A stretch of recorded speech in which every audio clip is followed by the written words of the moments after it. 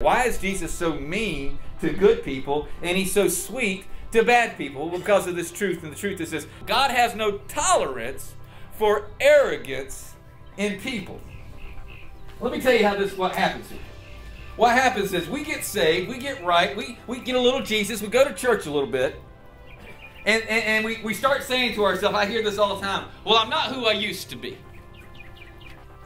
And we allow the fact that we're doing better now, we allow the fact to, that we're doing good to somehow be twisted and torn to where it makes us arrogant.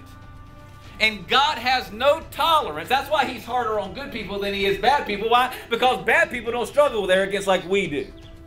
Bad people are at home in bed right now while we're sweating in a tent.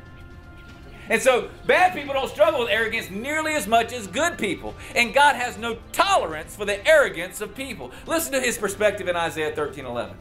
He said, I, God, will crush the arrogance of the proud and humble the pride of the mighty. Proverbs 16 18 says, Pride comes before destruction and an arrogant spirit before a fall. You might not think that arrogance is a big deal, but God hates it. And if it's such a big deal to God, why don't we understand what arrogance is? Let me give you the definition of arrogance. The definition of arrogance is this to decide, arrogance is when we decide that we know better than God, to take his place as Lord of life. You see, arrogance is different than pride. Did you notice that the verses that we read?